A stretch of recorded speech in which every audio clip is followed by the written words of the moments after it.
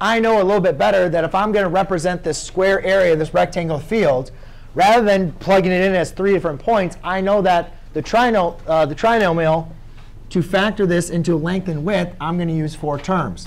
So I'm going to say x squared and 3500. Now, what's nice about this problem is they actually told us what one of the widths is, which is x minus 50. So therefore, all they're asking is, what is the length? So x times what gives you x squared? x. Now, I don't know what these middle two boxes are, but I can think of negative 50 times what gives you 3,500? Negative 70. So therefore, I can fill in the rest of the box. You don't have to. But if you wanted to fill in the rest of the box, you would fill that in as a negative 70x. And this would be a negative 50x. However, the only thing the question is asking is what is the length, which is x minus 70 in feet. OK? Um, in this next example,